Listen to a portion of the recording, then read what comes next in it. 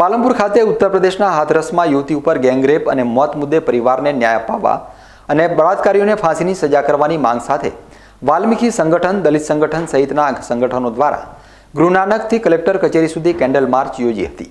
અને નિવાસી અધિક કલેક્ટર એટી પટેલને આવેદનપત્ર પાઠવી ન્યાય નહીં મળે તો ઉગ્ર આંદોલનની ચીમકી પણ ઉચ્ચારી હતી.